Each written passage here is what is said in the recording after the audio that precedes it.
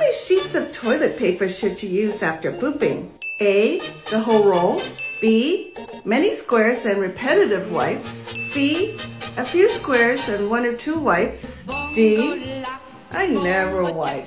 If you guess C, a few squares and one or two wipes, you're correct.